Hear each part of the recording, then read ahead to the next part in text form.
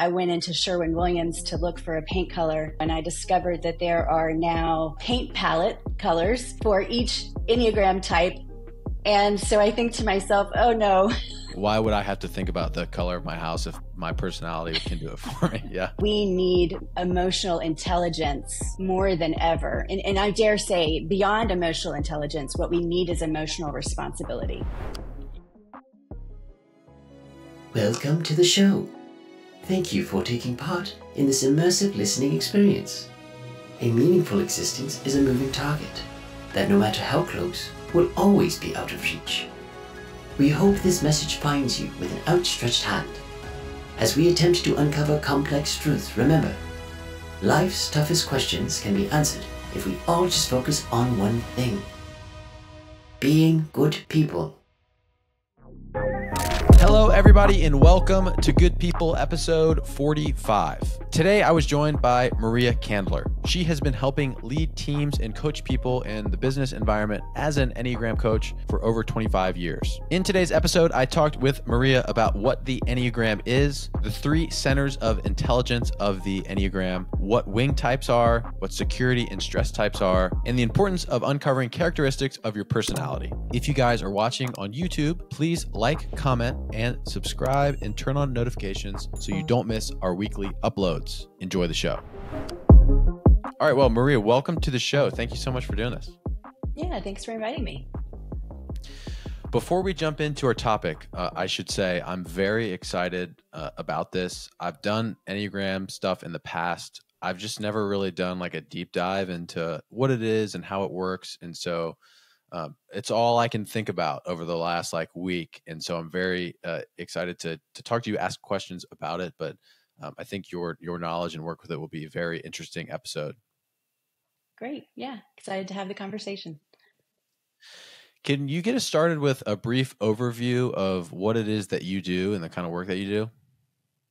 Right. Um, so I'm in sort of the second season of my professional life and just following the threads on where I think the universe is trying to send me. But I, um, for many years, um, ran a corporation and um, probably as a result of the Enneagram and some of the things that I was uncovering about myself in the process, um, decided to leave corporate America and sort of that grind life and um, just take some time to figure out what the next steps were for me. And that led me on a journey of, of continuing to work with the Enneagram and to incorporate that in a coaching practice where I also do um, focus on uh, work in trauma and just helping people, you know, wherever they're showing up uh, with whatever they're bringing in. So um, that is my uh, my current program, and um, it's just been a, a, really exciting journey just to kind of get to that that place. So, yeah, very good. I'm ex- I'm interested personally what it was about the enneagram that sort of shift made this big shift for you. Yeah. Well, admittedly, um, I was a skeptic at first. It was brought into my corporation, and um, well, this might give away my Enneagram type, but my my company's culture was definitely one of continuous improvement. Um, we were always, t- you know, tinkering and, and tweaking, and um, always very passionate about having a, a, development plan for all of our staff. So we had tried many different typology programs, um, and normally they were interesting. They ended be ended up being like just a really uncanny, accurate description of the way people behaved um, but inevitably made their way into the filing cabinet, never to be seen or heard from again, and sort of like the flavor of the month, I guess you could say. So um, I had brought in some consultants for something completely unrelated, probably, you know, re- re-engineering our sales process or something like that, and they mentioned this program and I, I think my initial reaction was like oh we've tried so many of those things you know it's just what's one more?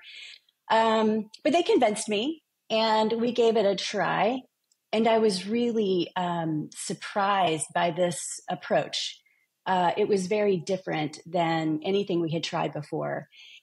And um, what really got me was we had a, uh, we used to have like an annual family fun day where we'd invite the families of all of our employees to come and we'd play all day. And I had a wife of one of my employees that approached me and she said, Hey, you know, that thing that you guys are doing, the Enneagram, I'm pretty sure that that's going to save my marriage. And I was shocked.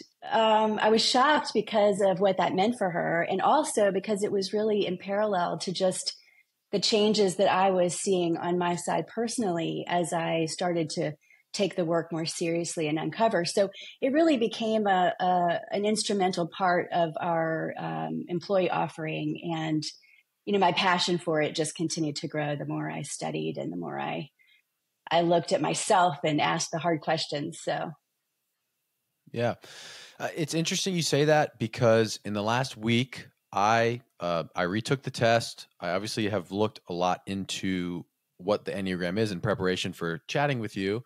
My fiance has also taken the test, and I cannot remember the resource that we used, but it is it basically you just put in your type and your partner's type or whatever the, that may be, and um, it pretty much gives you like the the positives and negatives of of mm. being in a relationship or whatever with with this type of person.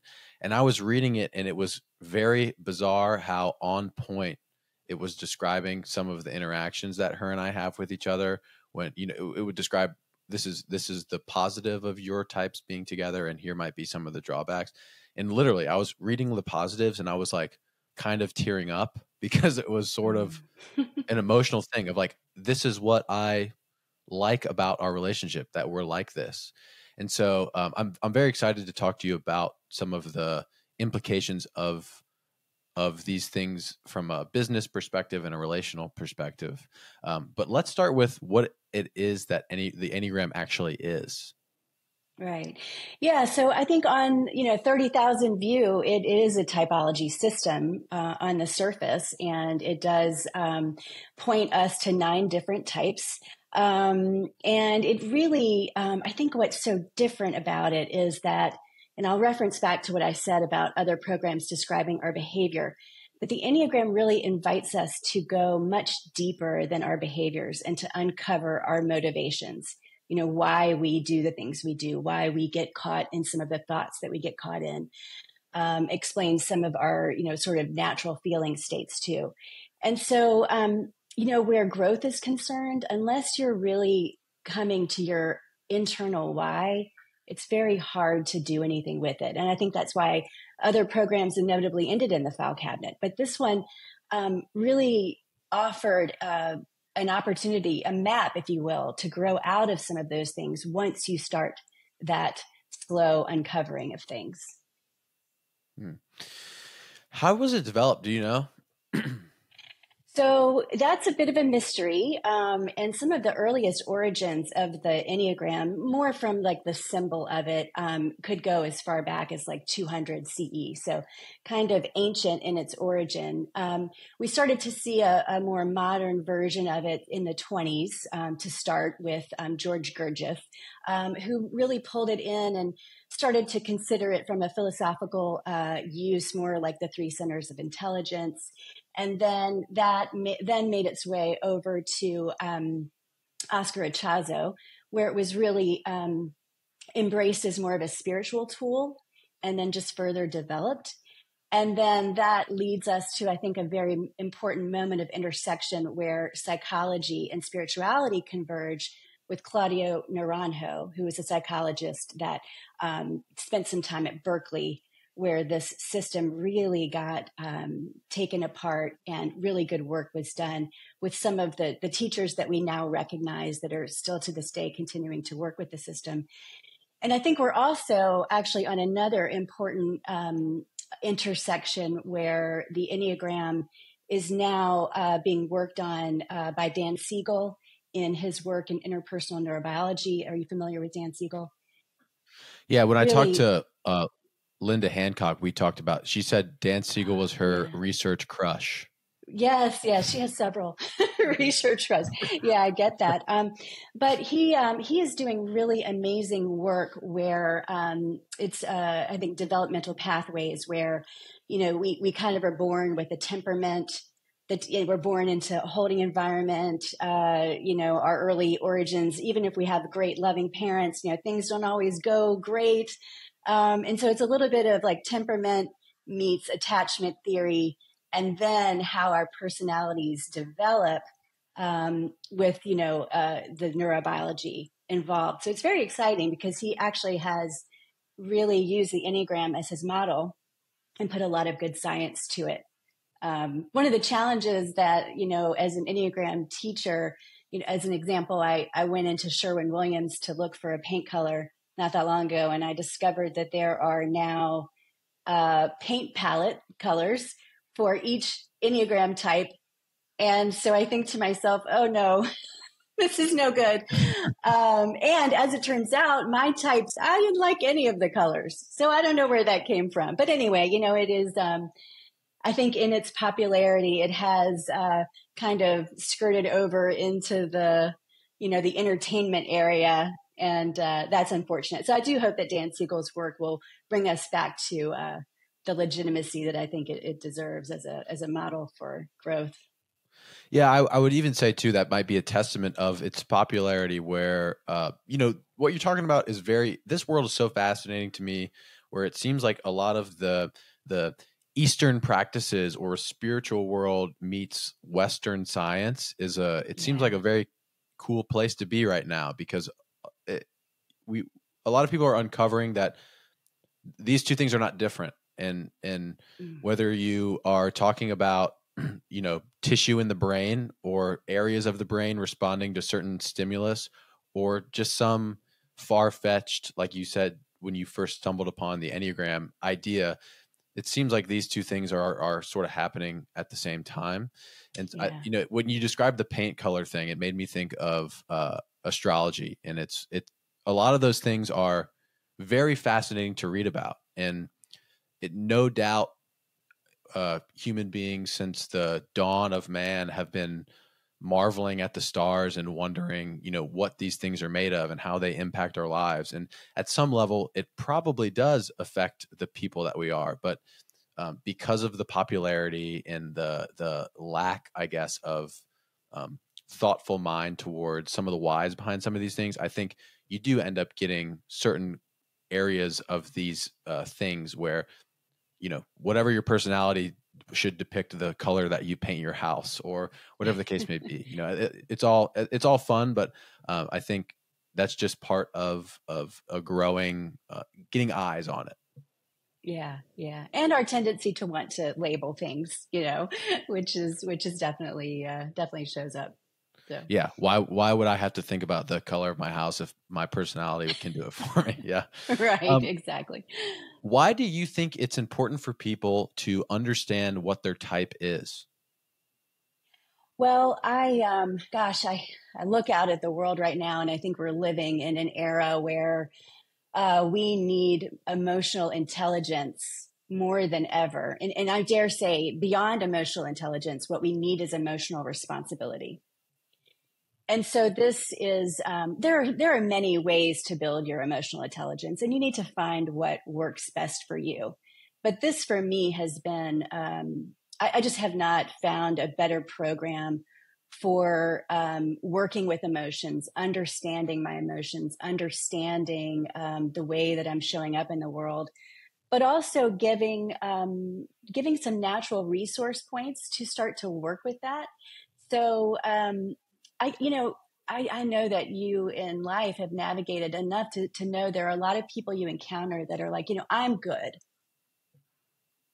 Everybody else are the ones with the problems. I'm good. Mm. And, you know, we have a lot of that. And I think we're all paying a price for that. So I, I believe that in order to um, navigate successfully with a joyful life that is full of good things, that we need to check ourselves first and if we're all checking ourselves first, I mean, imagine what that world would look like right now. So, uh, you know, I think that, I mean, there are so many gifts in the Enneagram, but I think the invitation to work with all parts of yourself to un- understand and uncover uh, is really just the one of the best gifts. It sounds like underlying that too. Obviously, you know, to look inward and understand yourself, the good and the bad. I think there's also this idea, and, and correct me if I'm wrong in assuming this, but understanding the Enneagram in its entirety is also in a way an empathetic act because yes instead of just like for example i'll, I'll say that like i'm a type one um, Mm. on the enneagram hardcore type one i don't understand when people don't want to optimize everything in their life it makes no sense to me you know like i could Yeah. tell you where my screwdriver is in my in my toolbox in my garage like it's the top right little drawer you know? I know where it is.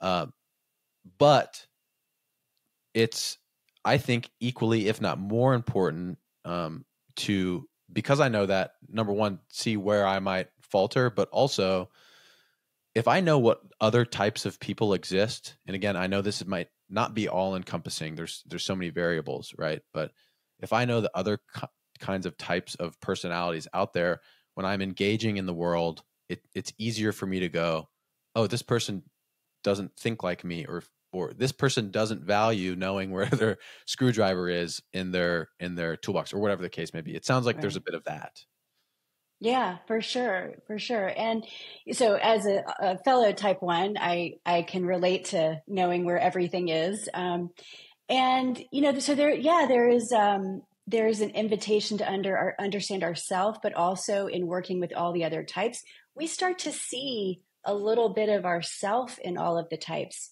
Sometimes we see it as a trigger. And we have so much to learn when we are triggered by something that happens with another person. I mean, that is really a great opportunity for a mirror. But if you have that sort of dug in, defended position of like, no, it's it's them, but it it, it often is not the case. So. Um, so I do want to, if you don't mind, back up because I think you know you you took an assessment, and that is perfectly fine. And many people that is their point of entry. Um, tests, assessments can be uh, very inaccurate. Um, a lot of times, uh, people will fill out the information just based on maybe a situation that they're in in the moment. Um, maybe they're filling it out from a, an aspirational perspective, like this is how I really want to be. I mean, we sometimes we can't resist doing that. Um, the best way, and to really maximize all the things that the Enneagram has to offer us, is to you know have a starting point but to hold that information loosely until you have really done some good work on inner observer because the point is we want to really uncover those patterns that have been with us for a long time when we are in our patterns we really just can't see things as clearly as we could you know? So i just want to make sure that you know uh, the assessments are great but you know don't stop there right? Yeah, and I appreciate you saying that because I I think I took one of these tests when I was in high school. I can't remember if they if I was made to do that, but whenever I took it when I was young, I was like 15 or 16. I got I can't remember what I got, but it was different than the most Mm. recent time that I took an assessment. And and uh you know, I don't know if that's common, I'm not sure. But anyways, what you're saying is is I think very valuable because that's kind of what I did. I went and I, I spent a couple of days like reading about what the Enneagram was, learning each type, learning about security points and stress points and and and the wing types and things like that. And I think going into it with a little bit more understanding of uh, what it is and and all of the possibilities, it was easier for me to when I did take the assessment actually think because there was times when I would catch myself like, oh, that's just how you want to be, but that's not how you are.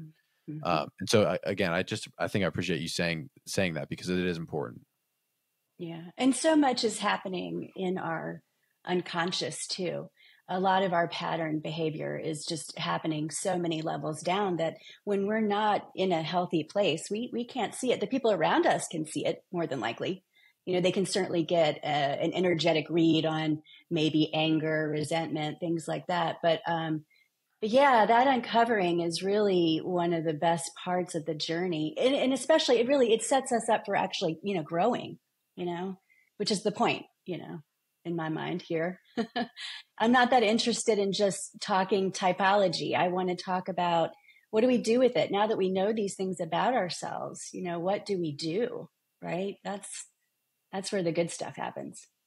Yeah, tell me a little bit about that. Why, you know, what do you do after you start? I feel like what you're saying is is something that I think about often, where it's like, this is the starting point. Like you, this is a, a good model to to to have me look inward and, and I'm trying to uncover, but what does that journey actually look like? Yeah, yeah. So I think um, the the place I think would be good to start is to talk about just health in general, and what's often referred to is the levels of integration, levels of health in the Enneagram model. This is something that um, I think is best presented by uh, Russ Hudson um, in the Wisdom of the Enneagram, which is kind of like the gold standard, more textbook almost for um, the Enneagram. But he has taken so imagine sort of a, a you know a, a, hierarchy of things where we have at level one and we'll use type one because you and i are both familiar with type one so we'll sort of use that type as an example but imagine level one within uh, the gifts of type one which are as you mentioned like you, you, you have this innate ability to see the potential in everything you can see when you're working with a client at the gym, you probably can naturally see the best version of that person, right? I imagine that's your gift. So, you know, up here, you know, when we're operating at level one is when we are really healthy. We are open. We are curious. We are not efforting who we are. We have this, this sense that everything is actually perfect as it is and we don't have to try. And so levels one through three are what we would consider healthy, um, awake. And then as we drop down in the levels, we start to sort of fall asleep to our gifts and our ego takes over. And then we start to really double down on perfectionism. We can get really judgmental overly critical and then it just it just gets worse and worse and so that line of health you know in any given day you can be you can wake up at level 3 you know and you're like doing pretty good and you know the world is your oyster right? And all people are good and i'm going to just do what i can to help out. But then something happens and then you fall down to level 6 and you're in judgment and you're you know it's like ah and resentment and like, I, why am I working so hard and everybody's slacking off, you know, which was definitely, you know, I think so, an uncovering for me where I was just tired of bearing all the responsibility for everything. Right. So, so that's the first invitation is for us to really examine, you know, where are we showing up on that level of health on any given day? You know, where are we kind of residing most often? Um, levels one through three, we're doing pretty good. Four, five, six is where we're kind of on autopilot. We're in our patterns. Maybe we're not even aware of it. That's where most people tend to reside. And then when we're in seven, eight, nine is when we are suffering. We are in pain. We're acting out. You know, we're lashing out at people. I mean, I think we see a lot of that happening in the world right now because of fear, because of all of our driving emotions that maybe we, we aren't quite in touch with. So that's the first invitation is to really understand, am I, am I a healthy version of type one or six or whatever it is? Um, and then to, to, to understand what it looks like to move up even a level, which a lot of times is just a little bit of a loosening. I think what I love about the Enneagram is it's not asking us to do this heavy lift of becoming something else. It's just inviting us to just you know take our hands a little like that white knuckled grip on the on the steering wheel just like loosen loosen it up a little bit so um so that's one of the first i think really good opportunities to continue the work is to be constantly checking yourself on that level you know where am i showing up and if i'm if i've been doing a lot of good work and i've been showing up maybe at level three and i've spent two or three weeks at you know, a lower level, like what's what's going on? Like what's happening in my world? You know, paying it more attention to that. What what is what's trying to get my attention, if that makes sense. Do you find that those levels are helpful because I, I know you described that was a good analogy of loosening your hands on the steering wheel. That's obviously some level of acceptance, but it's for me, what is helpful in that model is this is the type of thing that I am. And at my best, this is what I can do for people. And at my worst, this is what damage I could cause. Uh, and I think Absolutely. seeing that is helpful. Absolutely. Yeah. And and you know, you have to look at it and you have to there needs to be some level of honesty with yourself. So it's a slow, gentle entry point, you know, and over time, you know, being being more honest is uh, is is the way, you know, and working with those parts of ourself that it's like, oh, I really don't like that part of me. Well, don't banish that part of you. Pay attention to what that part of you is telling you. Do you need more sleep? You know, are you in the wrong job? You know, do you have some toxic relationships that are sort of fueling that part of you that, you know, is just needing some nurture, right? Let's talk about what are the three centers of intelligence. I'm curious about this. This is the one thing that I wasn't quite sure about. Sure. Yeah. So the three centers of intelligence is sort of the first pass of the of the diagram. So um, there are three centers of intelligence. There are uh, the body types, which are types eight, nine, one. And um, the center is really about where we just innately, how we take in information from the world. So we have our body types, eight, nine, one. And then we have our heart types, types two, three, and four. And then our head types, uh, uh, five, six, and seven. So we have um, awareness in all three centers, but one tends to be dominant. So it's just an innate taking in of information. It's just how we navigate. So body types are taking in information just quickly, instinctually in more of that gut center, sort of that like, I just know, don't ask me for details, right? And then we have our heart types that are just really, it's like this, just they can walk into a room and just naturally know if someone's off, if some, how things are feeling, right? And then we have our, our head center, which is really that sort of analytical, you know, truly taking in through as much information as can be gathered as quickly as possible. So that's sort of the first pass of what the centers of intelligence do. There, uh, the main theory is that we have a dominant center, and then we have a secondary center that supports the dominant center, and then typically there is a center that requires a little bit of work on our part to be in in balance and harmony. So each type has sort of a, a, a different repressed center, if you will it can get a little bit confusing because, for example, um, for type ones in the body center, uh, we take in information through that kinesthetic knowing. Um, but um, we are um, actually um, thinking repressed, right? So we tend to spend a lot of time in our heads. So we might think we're a head center, but actually if you really drill down on our thinking when we're in an unhealthy level, most of our thinking is perhaps unproductive, right? So you have um, a lot of inner critic happening as a type one, you know, and so you're kind of smiling. So I'm wondering if you can relate to that. But there's a lot of like unproductive chatter going on there, you know. But for a long time, I thought, well, I don't really relate to myself as a body type. That's because, you know, I, I'm like, I'm always in my head. Um, so it can be a little bit confusing. But, well, when you but said I also that, know, you know, I, t- I do like, I kind of just know the right, the right next move. Right. Yeah. Well, when you said that, I was like, oh, I'm about to prove her wrong. Like this is wrong. Uh, uh, yeah. for exactly what you just described. Cause I'm like, I live my entire life inside my head, but right. it's very, um, unproductive as you describe Mm-hmm. Something that I struggle with because of that is I've heard somebody else describe it in like a productivity sense of when you're trying to schedule your day. A lot of people struggle with the transitions. So it's like, you know, you finish your work and you got to go to your workout.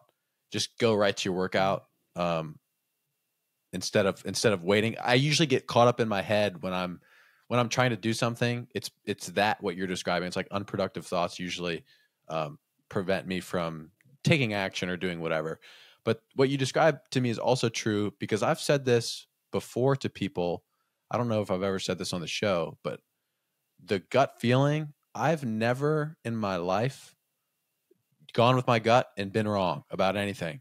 And uh, mm, mm-hmm. I, I I think about that a lot now, and I didn't really recognize that this was so tied into um, the Enneagram, which is cool to know. But that's a very that's a guiding force for me now. I'm like, this is the right thing to do. Let's do it. And uh, I still have a lot of life life left to live. I hope, but I would imagine that it will continue to be something that I rely heavily on um, mm.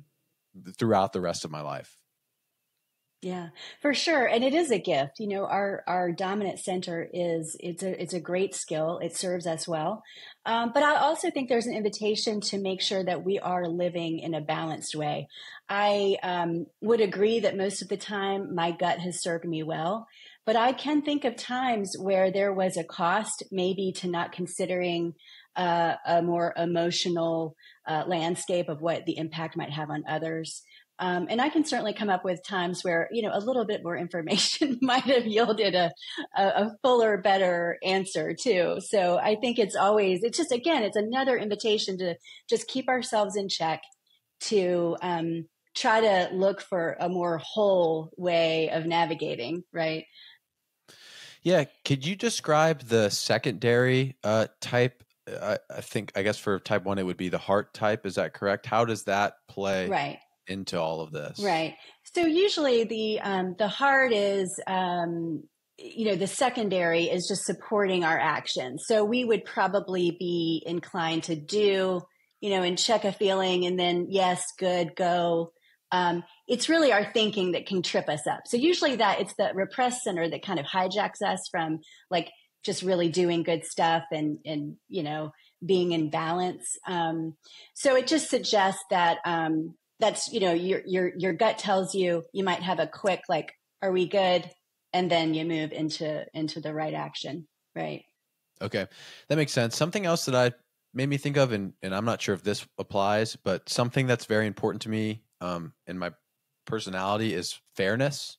Um mm-hmm. and i feel like when we're when i'm thinking about my heart it's it's always usually comes in when uh, for what you described, I recognize that like a feeling or a gut or a decision will affect others negatively. It almost pulls me back, mm-hmm. like, oh, this is going to benefit me, but it's not going to benefit others. We can't do this, or it, it's almost like a moral thing. Mm-hmm. Is that is that a mm-hmm. correct assumption? Yeah, yeah, that that would be a good example, and I think that also um, probably gets at some wing activity, which uh, you know we definitely want to talk about that. But before we move over into the wings, because that makes me think that that's your influence of type two, which would be on one side of one one wing, where it's just that attention for the needs of others, right? Taking care of others. Um, but before we go there, I think another thing I want to share about the centers of intelligence e- each center also has a driving emotion that, uh, and often this emotion can be very buried and operating in our subconscious. So for the body types, the emotion is anger. For the heart types, the emotion is often shame, guilt.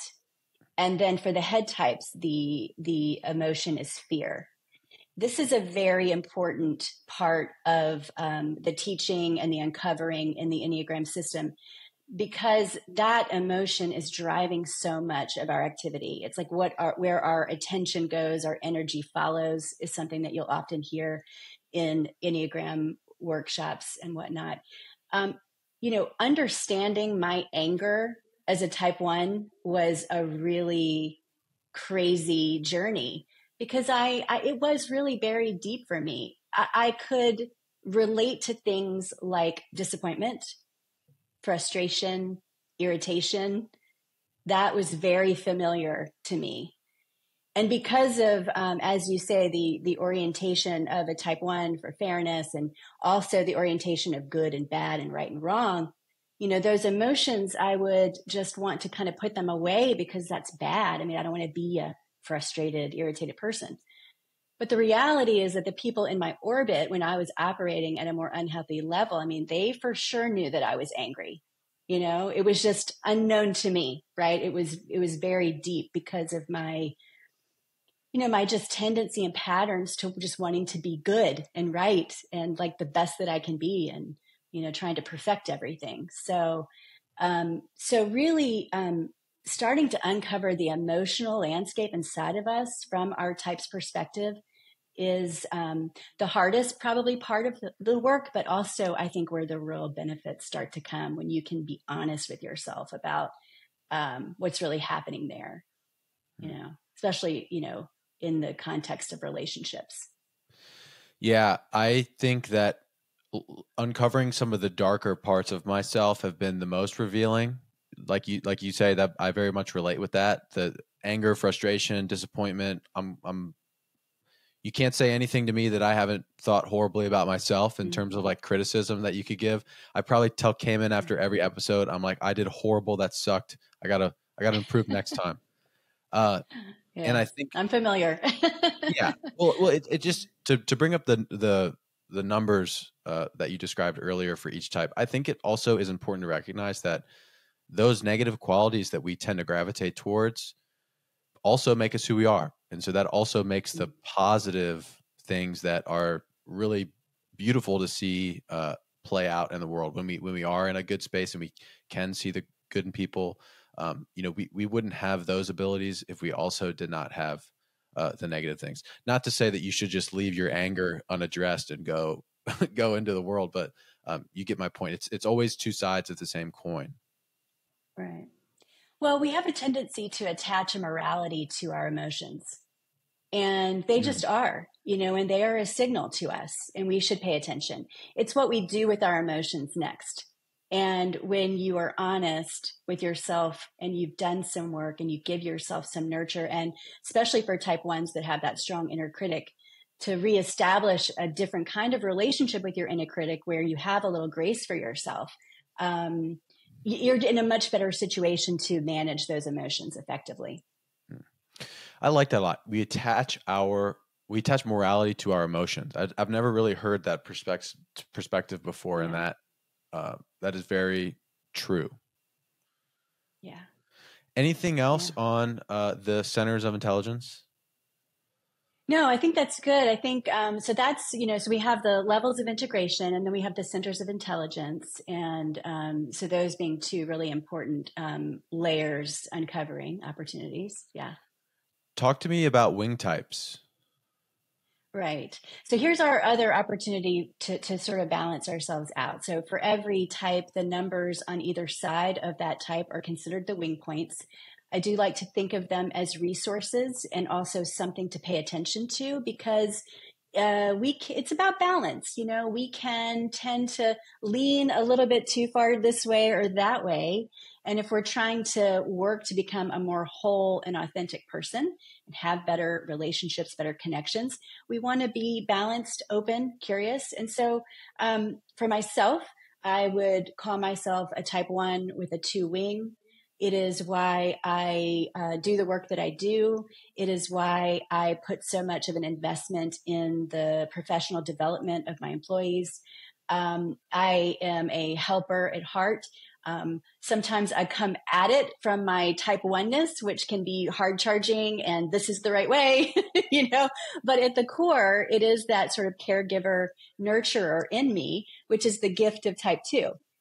Now, um, I have also experienced where there are parts of my life where that tendency towards helping can be uh, a little bit smothering and a little bit, um, what is it they say? Like, uh, you know, unsolicited advice is actually criticism in disguise, you know? So there's, you know, again, it's like type two, same thing, the healthy version of type two. am I entering type two space as an unhealthy two or is a healthy two? All those same rules apply, right? So I can get too carried away there. And so if I am aware of the resources available to me over in type nine, which is uh, our peacemaker, our mediator. They have this beautiful gift of seeing all sides. Um, that helps me balance out my uh, unhealthy type one pattern of just knowing my right way. Uh, but maybe other people have lots of good ideas, right? So that kind of helps me balance out the maybe the more defended unhealthy versions of me right that I, that can just get carried away if i'm not paying attention does that help?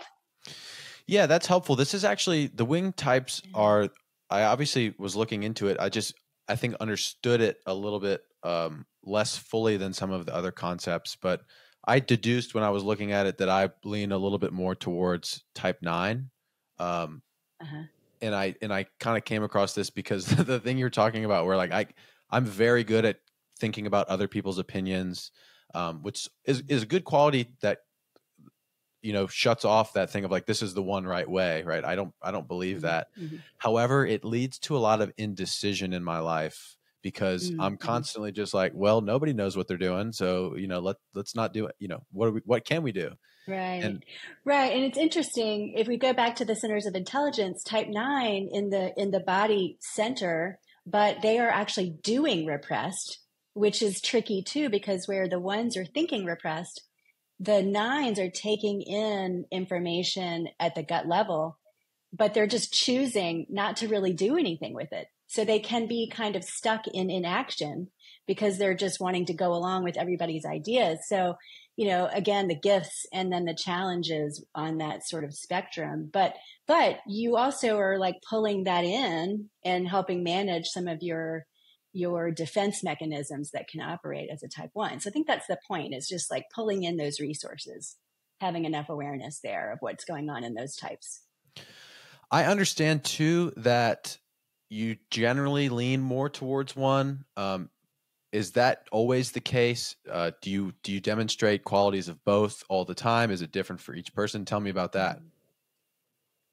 Yeah, well, um, the the theory that keeps presenting itself, and I think it was Father Richard Rohr. I'm not sure if you are familiar with him. He's a Jesuit priest um, that um, you know grabbed the Enneagram and did really good work with it in early days um, he has a theory that I, I think is certainly playing out for myself, which is that in the first half of our life, we tend to lean more towards one wing.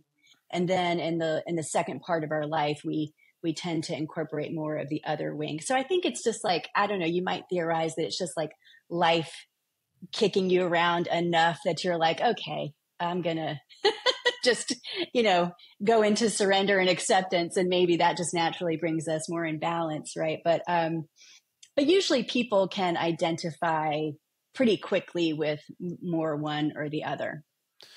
You know what that made me think of is like I said, I, I definitely gravitate more towards nine, which is the mediator and, and, and all the things that you described before. And I've almost always said, like, I love to help people too, for a lot of the same reasons why you described. I love, I'm a, I'm a fitness coach. I also help with coaches development. So I develop our other coaches at the gym. And I've always said as I get older and I have more resources available to me to like help other people, you know, like, like I'm currently in a phase of my life where I'm still trying to figure things out and and make sure that I survive and and things like that. um, and I've always said as I get more resources, I I've always felt I would gravitate more towards that stuff. Um, and so I don't know if that has if that jogs anything in your mind, but um, it's interesting that it that it shifts and that is a and that is a, a model. Yeah. Well i guess I, I i first think of just the the type nines gift of just bringing people together for a common cause too. So you're wanting to just like the train the trainer just to have a bigger ripple effect um, you know that makes sense to me that that's more of the the nine stuff. Um, I am curious. Uh, I would want to know, like, if you if we were in a coaching environment, I would want to know like how conflict shows up for you. You know, in because that might be a distinction between a one with a nine wing and a one with a two wing is that there might be a little bit more of an aversion to conflict because what the nine is always striving for above anything else is just peace and harmony, right? Uh, sometimes to a cost because we know when we avoid conflict we just generally create more conflict and it's even worse than when we started. Uh, but that would be something I would be curious about in the distinction between the two. I hate conflict. I mean, I, uh, you know, it's a, I always just assumed it's because I was very shy when I was growing up. And, and maybe that is one of the, also the underlying reasons too. But, um, yeah, yeah I don't, I have to willingly, like in the leadership positions that I, that I'm in, I have to like talk myself up in the mirror like okay man you're gonna have this conversation. And then like weeks go by before i finally before i finally yeah. am able to do it. Yeah that sounds a lot like type 9 stuff there. Um, i on the other hand uh, in my oneness in my early days would have probably chased someone down to get the conflict dealt with. That's not a good strategy either i should say. Yeah. Um, anything else on wing points that you'd like to throw in before we no i think that i think that that kind of sums that up yeah. The the things that really piqued my interest when i was learning were the stress and the security type so so let's talk about that. What are each one of those? Sure yeah. So i um so each type has a line that takes you to a, a type that uh, sort of you can tend to embody in times of stress and then consequently uh, a type that you can find a lot of resource in that's like when you really are in your healthiest manifestation of self. So to put some example to that um, and i i like to describe this as like you go to your stress type to to really find the parts of yourself that really need some healing and nurture. Sort of those shadow parts in order to really just work through the hard stuff to allow yourself to then start to integrate that other type which is your growth type so for me how that has played out and the one in stress uh, gravitates towards type four which is the romantic or the individualist. Um, the gifts of that type are the capacity for emotions. Um, they have a great capacity to hold even dark emotions. They have this amazing gift of seeing beauty in the world, often uh, very creative types. Um, and I have a, just a real fondness for that type in particular um, all the types, but that one, something about it just really gets into my heart. And it's probably a part of me that what that just needs love and nurture, right? And so what would happen is that I would be just in lower levels of health as type one, just grinding it out, trying to make everything exactly how it's supposed to be, which is exhausting work. Um, deep in, you know, just judgment and over responsibility. And then when it became just too much, I would adopt the characteristics of, a, of an unhealthier version of a type 4. And what that looks like is a lot of emotionality, uh, can be um, fairly dark. And so for the people around me, you know, I, I would just fall apart and they didn't understand what was happening. I didn't understand what was happening. I felt like I was horribly flawed. There's something wrong with me. I'm broken. Um, but I, when I started to learn the Enneagram and I, I learned about that movement, that, that represented like the scariest part of me. But when I learned that could that be as simple as that that's just what happens to me when things get that hard? And when I allowed myself to consider that it is just that part of me that needs some attention, then it just everything opened up and I I could start to nurture that part of myself. I gave myself the space for that. I started to take care of better, better care of myself. And how the integration of that part of me, how that works is that I think of that as the place that I went to where now I can actually notice the beautiful flowers when I'm on a walk. And that sounds corny, but like in my patterned one, just go, go, go, I think I blew past a lot of beautiful parts of life, right? Because I was just in my pattern state. But after spending time in that place, now it's like it opened up this whole other part of me, and I, I can actually take in the beauty of that type. And now I am in a better place to start to embody the characteristics of type seven, which is my growth type. Your growth type is a type one, uh, which is the adventurer, the epicure, uh, positivity. Um, they're really just going through life, just just all the opportunities of life, all the things, all the possibilities. It's just a a beautiful gift of of the type seven. So like that's the almost like the last just stop on the station of trying to like be whole. You know, is how I see it. I don't. I know we've been talking about. I guess it's convenient that you and I are both type ones, and we've been able to have this conversation sort of yeah. off that. I don't understand or haven't looked deeply enough into the other types um, to quite know if this is true, but I feel like for one at least, and you can confirm the others, that it seems it like if you if you're not if you're not careful, it can be a bit cyclical. And I wouldn't say that I do this anymore with a lot of self work that I've done over the past couple years. I feel like I'm usually, you know, in a pretty good place. But I tend to think that before I would work super hard, tunnel vision, focus at a specific thing, and then I would accomplish said thing, feeling so good about myself. I would sort of move to this uh, security type, which is type seven, and then I would just kind of mm-hmm. indulge. Like I'm, mm. for example, I've run a couple ultra marathons, uh, and the most recent one I did was 100 miles. And afterwards, it was just like weeks of me living in this glorious world where I had a, not a care in the world. I had just did my grand adventure. Uh, I was satisfied with my effort, and because of that, I took a back seat on a lot of the things that make me feel good, which is like a very structured discipline, not over extravagant, um, routine oriented life.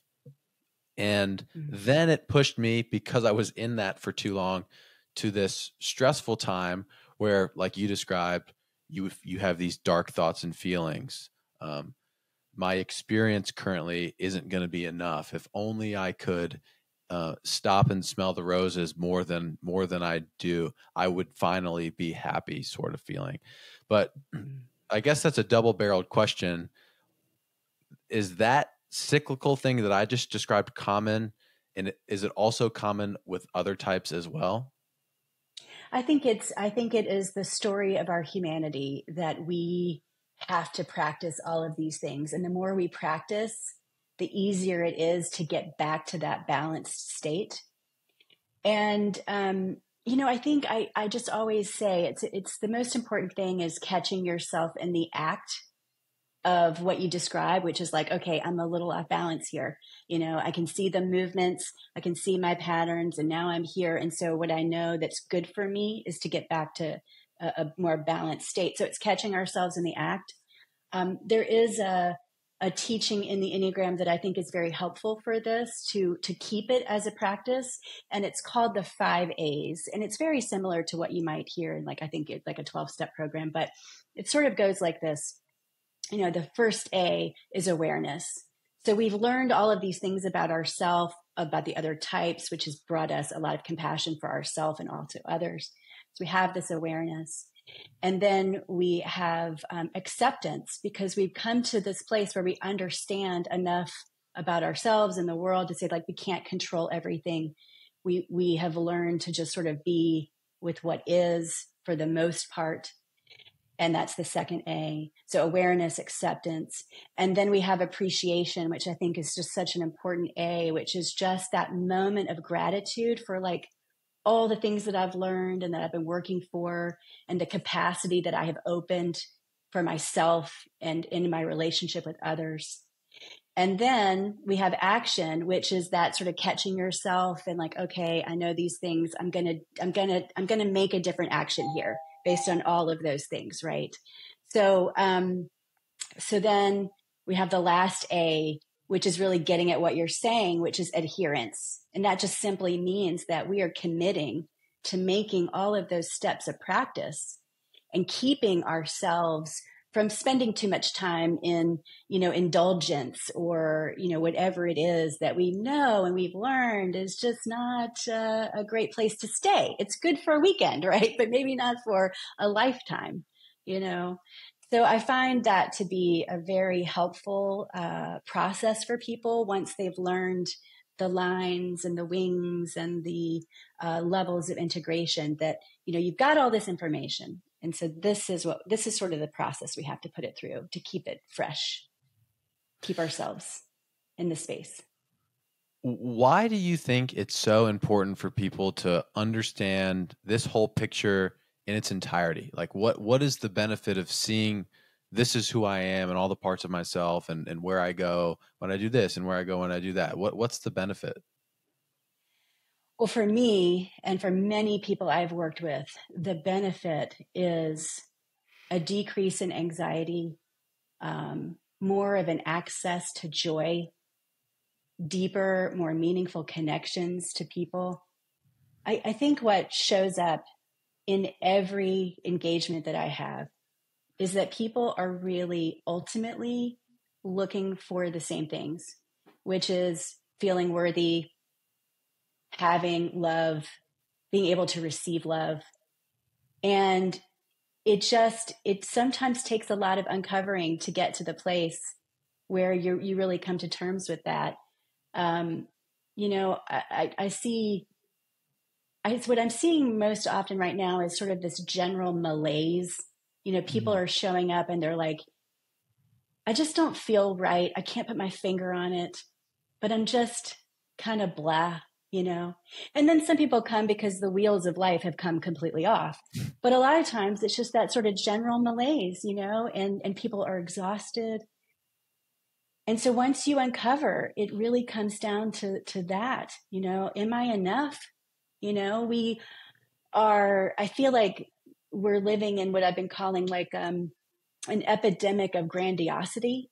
You know, we are constantly bombarded with messages that whatever we've been working for is not enough, whatever we've obtained is not enough. And, you know, and so we're just, you know, most people have this like hole and they're, they're not even really aware of the hole, but they're just trying to fill the hole and they're just doing their thing. And then they, they and then they're like, why am I feeling this way? You know? And so when you, so when you start to uncover, it's like, oh, I can stop doing all that. Or maybe I don't have to do as much of it. You know, it's like we have practical things we have to do, but, but there's like this lightness that can come, this freedom, right? And, uh, and then just, you know, better everything really. Touching on that and its impact, I'm curious with, with a career of coaching people and, and businesses with this, what are some of these overarching things that you see maybe, maybe, perhaps outside of that like what, what are the things that you've learned from working with people on it i have learned um, how much difficulty we have with our emotions and how um, cutting off our emotions and putting our emotions away how we never quite complete the cycle of healing you know whatever like those early wounds, which we all have. Um, and so I think I think it's really interesting when you just invite people to just we, we have to teach a lot of people just to be able to sit quietly for a minute and breathe. You know, telling a person that's really super busy just they need to meditate is often not very helpful. you know, it's like it doesn't just work that way. So, but I find that maybe after the third time or so, or just taking a, a moment to center and breathe a little bit, how often people are like, I kind of want to cry right now.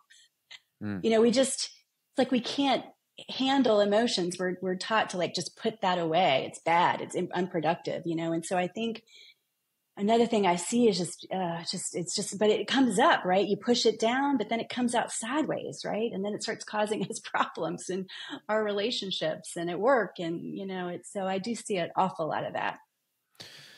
Yeah, even when you were saying that, I was like directing my thoughts more inward, like checking in, and I was, I, I definitely feel as though I've been, uh, I need, I need to take a little bit of time at some point. Like it's got to happen soon, you know, mm-hmm. because I'm somebody who I feel like is very well practiced with mindfulness and. Right. I've done a bunch of stuff that has helped improve my ability to check internally with myself. If you told me to sit down and meditate, I think I could fall into it fairly easily. Um, and I know that that's not that's not a very common thing, but yeah, even somebody who who I, I give a lot of time and energy to thinking about these kinds of practices, I catch myself all the time of like, it's been a week since I've even thought about the idea of of checking in with myself really really quickly mm-hmm. because it it takes you just have to remember to do it, and it's so hard to right. remember to take a breath, check in with how you feel, slow down a second, be conscious of what's happening around you and who you are and how you're feeling and if you're okay. And I think having these conversations, uh, it's just a great reminder of that. Right. And and that's why they call it a practice because it requires practice. And we fall off and then we remember and we get back on and we share what works for us with the understanding that maybe it won't work for this person, but they have to find their own formula, their own recipe. Um, but I think, you know, we're entering kind of the age of emotion, right? You know, so, there's so much science now that suggests that, you know, our thinking brain is just the tiniest little part of the whole experience that's happening.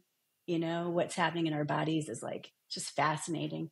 You know, I um I had to kind of find my body I was very disconnected from my body. I, you asked me how something was feeling in my body, and I'm like, I'm just like a, like I'm like a just a walking around head, you know. so that took me a long time just to be able to actually the somatic stuff, just to feel it. So it's it's hard for a lot of people, you know, starting, you know, where you know it takes uh, well you work with people building muscles. A lot of this is just we're trying to build up these muscles of our heart and the things that are happening in our body in order to take better care of ourselves. Yeah i just recorded a, a solo episode right before we we had this conversation and it was like a comprehensive how to build your fitness in a very simple way for people who just hate the idea of having to exercise and eat well eh, move their bodies. They just hate it and uh, one of the most underlying principles that I tried to come across or get across was that this requires weeks and weeks and months and perhaps years of effort. And it's this thing that you have to toil with. And at times you feel like you're not improving, but you are. And you just have to think logically I'm doing all of the things I know work. This is the same. Taking time for yourself regularly works and if you don't feel like you're making any progress, it's likely that you're not looking at a big enough window and you need to be more consistent with it and stick it out because um, it's worked for so many people and it works it works for everybody as long as you just keep at it. Right right. And celebrating the wins right? Celebrating those accomplishments. Yeah, yeah. if people are interested on more resources on the enneagram where would you point them to to look into that yeah, so there's a couple of places um, I would suggest checking out the narrative enneagram. That is the um, the the place that I got my certification from many many years ago. And um, the idea with the narrative enneagram is that we learn from each other through our stories. Um, and I think that's just a beautiful model uh, for that uncovering is when we share what's been going on with us uh, with other people. And then there's also the enneagram institute is another really great one. Both of them are accredited programs through the international enneagram association and have a lot of great content just um, just on the website poking around. Um, yeah so maybe start there. And there's all kinds of books um, but i just know that those two uh, groups are sort of the um, uh, sort of the OG Enneagram people that um, very credentialed um, have done a lot of really amazing work and study. Yeah, I'll make sure to put both of those in the description, and I'll even say the narrative enneagram is where I where I was looking, mm-hmm. um, and it, it it's great because it's it's very simple, uh, but you can mm-hmm. you can dive pretty deep on some of the the the, the topics rather. Um, yeah. Are there any other resources for you specifically? If people w- want to see more, are you putting out content on this? Can people reach out and and perhaps chat with you? Yeah, absolutely. Um, you can reach me at on my website, uh, northrivercoach.com. Also, I have an Instagram page as well that you can link through just from the website. So yeah, love to love to talk with whomever. Yeah, yeah, cool. I'll be sure to obviously include some of those too. But yeah, uh, Maria, you. is there anything else before we sign off that you think's worth adding? Oh, I think we could talk Enneagram for a long time, but I think we have hit sort of the high parts. Um, and, you know, it's a journey, right? It, it can become in and of itself a practice. Um, so it's not just a, a typology system. It's, it's so much more, lots of gifts there. Yeah, well, thank you so much for your time. Uh, I really did enjoy this conversation. Um, I think it's going to yeah, be a super valuable one to have, and I hope people that listen to it enjoy it. But um, thanks for doing this, and we'll we'll leave it right there. Yeah, thanks for having me. Thank you guys so much for listening to this week's episode of Good People. Before we head out, if you guys are watching on YouTube, please like, comment, and subscribe and turn on our notifications so you don't miss our weekly Friday uploads. If while you're listening you enjoyed, please share this episode with someone you love, perhaps your grandma. We'll see you next time.